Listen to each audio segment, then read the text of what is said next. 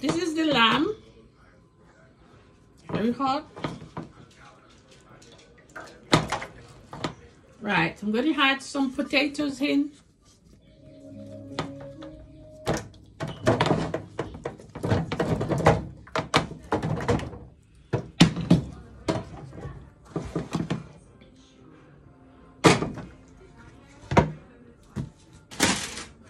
Then I will add my vegetables. So the lamb is already cooked. Okay, so I'm going to have my add my vegetables.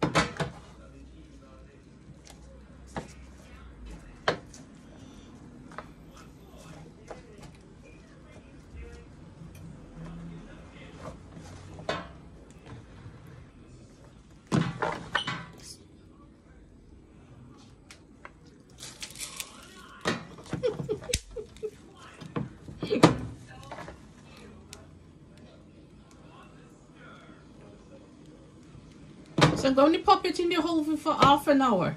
The lamb is already cooked. So I'm just going to pop the lamb, cooked lamb, back in the oven for the potatoes to cook.